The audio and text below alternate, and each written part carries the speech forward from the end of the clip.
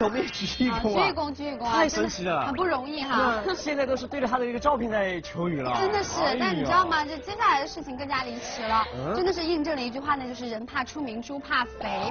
你知道，原本是受这个文艺青年所喜爱的萧敬腾，结果被这个数据 T 们发现了，纷纷的对他这个求雨的成功概率做出了分析。我跟你讲，这么无聊人还真有。第一个要来研究的呢，就是今年三月份，哦，他把这个萧敬腾的这个这个月的三十多天的行程拿来做了一个对比。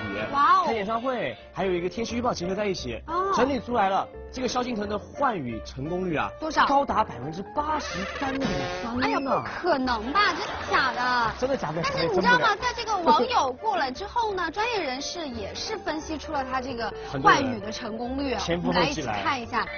他们整理出了这个二零一二年萧敬腾所有场次演唱会啊，加之这个二零一三年萧敬腾所有透露其行踪的微博，发现我们的雨神在四十三次出行当中，共有二十六天遇到了降雨，占总数的百分之六十点四六，所以根本就不是你所说的什么百分之八十三点三啦。哎呀，我那个也是数据地分析的嘛，对不对？但是我总结了一点，他这个。